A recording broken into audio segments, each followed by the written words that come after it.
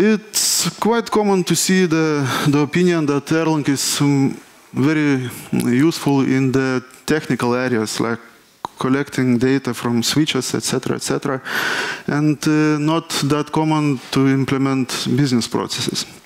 Uh, in the domain of my uh, projects, uh, I'm quite often have to implement uh, those processes that are understood by business people, so not very technical. They are usually long running in terms that uh, they need to wait for some feedbacks for our systems, from our people, and etc., etc.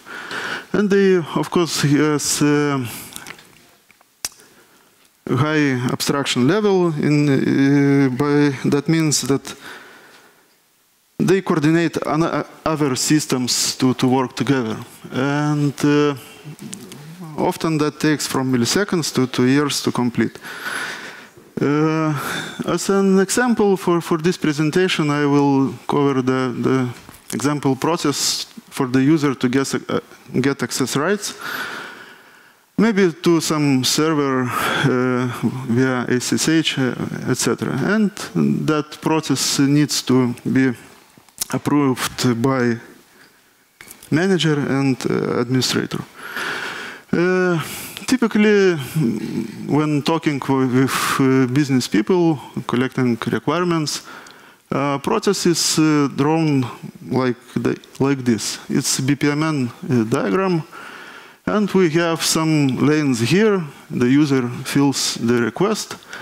Uh, the manager and uh, the administrator then can approve it. And uh, if it's approved, uh, you, the administrator updates the system configuration for the user to, to get those rights. When I switched from Java to, to Erlang, uh, one of the first tasks was to find a tool to, to implement a process like this. Uh, and I have found no such tools at all. And the question was maybe the standard libraries are enough and nothing to do here additionally. Uh, so uh,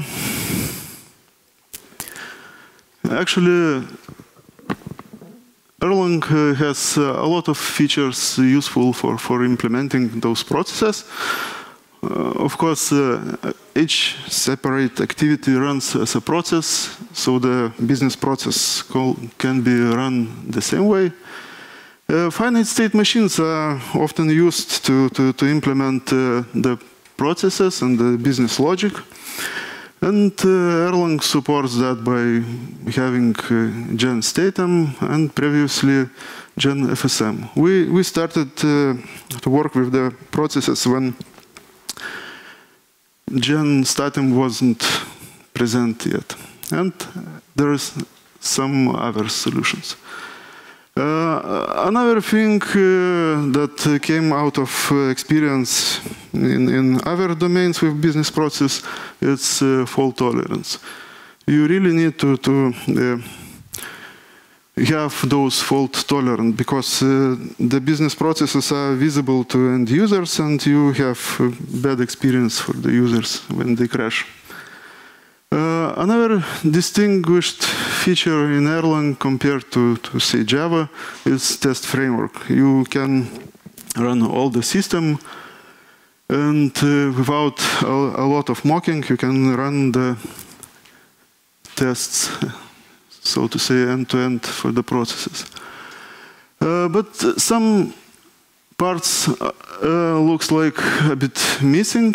Uh, one thing is the persistence in the out of the box Erlang, it should be done explicitly, so you can lock your your transitions and then recover from them.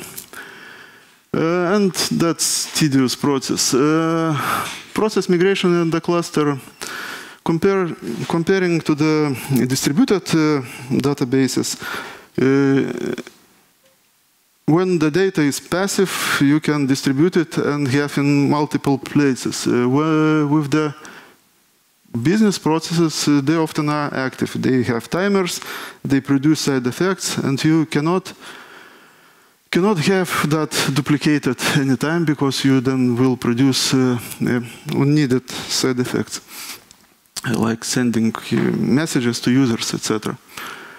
Uh, and uh, another thing is better. Uh, what's missing is better support for for complex state machines with a, a lot of states. Uh, with GenStatem, the things become a bit better. So I will emphasize things that are different from the, the GenStatem. We implemented a framework, eproc core, uh, and I'll talk uh, about one, one part of it. It takes care of uh, persistence, it logs all the trans transitions, uh, records some data for later inspection by administrator, let's say. It has a process registry that allows, allows to distribute processes across the cluster. Uh, for now, it works in, in a failover mode, so you have a lot of nodes uh, running, but single node is responsible for, for a process for a time. And uh, it supports structured states. Uh, structured states are needed to handle, uh, like, when you have a lot of states, it's easier to handle them uh, when they are grouped. So we borrow a lot from UML to define the semantics uh, about grouping those states. Uh, just to introduce a bit annotation, those are states, here are transitions arrows, and here are triggers for, for, for the transitions between the states. Side effects are not shown in, in diagrams like this. Uh, okay, the same process we we had previously is shown here as a state machine. So as an entity, having the states is request for access rights, and that's the first revision. We will uh, see more details in the next revisions in following slides. So first of all, the request is draft, so user is editing it, then it submits it, and the submitted uh, request can be approved or rejected. Uh, from our experience, this presentation of the process uh, allows to handle a lot more uh, edge cases because then you can analyze it by listing all the combinations of events and states and see if they should be handled in some proper way. Uh, first uh, thing uh, we added to, to, to, for handling the complex states is nested states. Here we can have an approved state uh, and uh, while being appro approved, the request can be implementing uh, or notifying user about the success. The same, same thing about rejected. Uh, in this notation, if you are in this state, then you are in state rejected and also in state notifying reject. Those states can be uh, presented uh, by tuples. Uh, in GenStatem, you have uh, a term as a state name. So we give some semantic uh, and structure to the states, and the framework analyzes that state. Uh, first of all, uh, on the entry to specific uh, to specific uh, state, in this case, approved state, uh, you can forward the state machine to another sub substate. So here, uh, from the state uh, approved, we go to the state approved and implementing. This uh, represents this transition. So from the start of the approved state, we are going to the implementing substate. What's nice about Erlang and uh, this notation for states, you can naturally pattern match on the state names. If you want to handle some uh, event in all the approved state, you just wildcard some part of the state, and that's natural in, in Erlang. The same way, you can have more detailed pattern to, to handle the event in the specific substate. Uh, what's uh, different, uh, maybe uh, what's additional value of the, that structure for the states is uh, then you can have scoped uh, attributes on that state machine. We have several attributes defined for, for the day. it's timers, mostly used as timers, and also keys that are used for correlating messages to processes. And we here have several cases to set up a timer. One timer will be valid for the inner state, so approved implementing. And the second timer, step alarm, will be uh, valid for the entire approved state, no matter in, in which subregion it is. Uh, the same way, case uh, can be assigned to, to the to the process. Uh, another thing we, we see from our experience that uh, it's uh, very good uh, to, to separate uh, two kinds of states. The states that are passive, just waiting for some event, and the active states, uh, those states when we some trying to do something active states uh, usually do interaction with the external systems. So, so the external system can fail, network can be unreachable, etc., etc. So we need to have uh, a way to to repeat and retry uh, that those actions. Uh,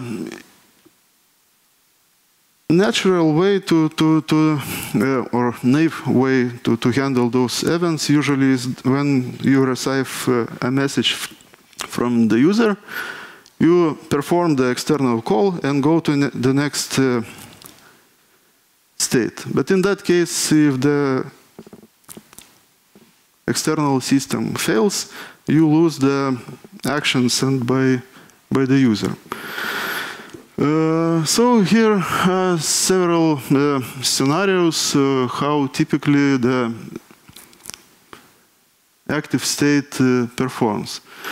So this concept is similar to the gen statem entry. On entry to the state, usually just set timers and send a do event to itself.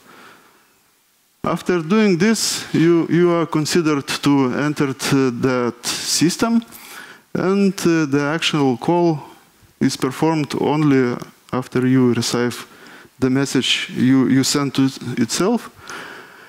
In that way, you isolate the transactions, and uh, in our framework, uh, the state will be persisted at this point, so you can recover later and timer will be set up again and, and action will be retried.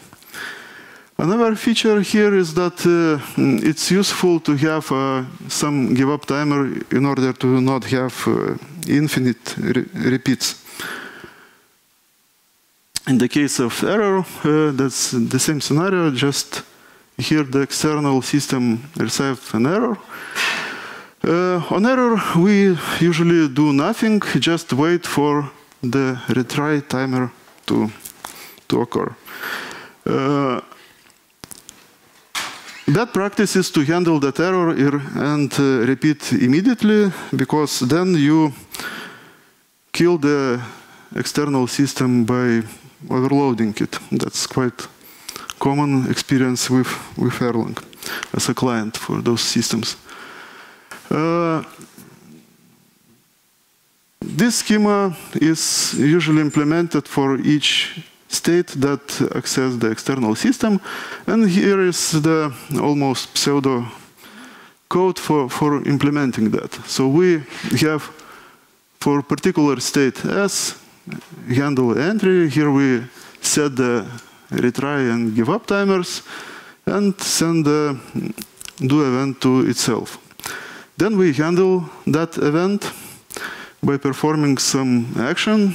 On success, we go to the next state, and on error, we leave in the same state. Uh, here we also have uh, retry and give up timers. On retry, we just re-enter the same state. So the entry will be called repeatedly. And uh, on give up, we just go to some other state and handle the situation. Uh, this listing is, is quite uh, commonly repeated in the code. So we abstracted that to some function. We called that uh, gen active state. Here we can, in declarative way, say that we should do this action on retry, send this event, and we specify give up and also the next state. Next state here can be the term, just naming state or function that can dispatch several states, etc. Next interesting thing here is uh, orthogonal states. It's quite often uh, the, the processes are like have parallel regions, but you have some uh, data to, to be shared between those uh, processes. So you, you can have some region when order of states is not uh, defined by the state machine and can happen in any order. Uh, very natural thing is to define those states as tuples where first element is uh, names the whole big uh, state and the other elements are responsible for separate regions. Uh, of course, that looks like record and can be described like record. And the useful pattern for defining such a record is to use default value underscore instead of undefined. That allows to pattern match uh, uh, states in, uh, in different regions uh, more easily. Here we can see two different, different ways to specify next state using this record. In first case, we use the same state name and change one region in it. In another, we create new record, so another uh, feasibility field will be underscore. Uh, the framework will, in this case, will call entries for states in all the regions, and in this case, only one subregion will be uh, initialized by calling the entry. Maybe this can be skipped. Uh, submitted. Uh, orthogonal states can be used also for defining uh, scopes for the timers, keys, etc. So we can have event for uh, scope for all the state or for the separate regions. Uh, another thing uh, quite often used in the diagrams uh, in state machines like this is state join. When we have some orthogonal regions or parallel regions, we need to wait for some configuration of states to proceed further. So we have here several states, like we need to have them both in done and then proceed to approve. Uh, separate uh, callback uh, uh, is defined for that. In this case, the join can be defined by, by listing pattern matching the, the state of the machine. The total order on some event to the state machine Uh, event callback is called uh, at the beginning, then exit events are called for all the nested states to, for exiting the state. Then entry callbacks uh, are called for all the states that, that are entered at that transition. And at the end, the entered callback is called to, to, to handle those state joins. Here we uh, have uh, like simplified listing of those, callbacks. What is uh, interesting here is that when the entry uh, callbacks uh, are called on our state machine, uh, only single of the regions is defined not equal underscore. So in this way we can pattern match on separate regions, not interfering with other regions. Uh, you mentioned that you switched to Erlang from Java. Uh, did it happen before Scala, Scala came around? And if not, have you ever considered Scala as, a, as uh, an alternative? I switched before Scala became popular, uh, so I don't know. For now, it looks like Beam is such a good uh, virtual machine, so I don't want to. Uh, you said that you have uh, lots of timers that um, can be can, can last like uh, months. And yeah. The, um, the question is how you make these timers reliable. I mean, how do you survive uh, reboots or crashes? Uh, each transition is locked to, to the database uh, in this framework. And with the state data, I also track all the timers. So I have uh, own function for setting the timer, and has the functionality for updating it, etc. So I manage in this way the scopes and also the resetting those timers after reboot. Another thing that is needed to handle with timers is duration. Uh, standard Erlang uh, timers uh, are limited, I think, to several months in time. So I do that by intermediate events. They wait for a while, then intermediate timer fires, and I see if I need to set the intermediate timer or the final timer.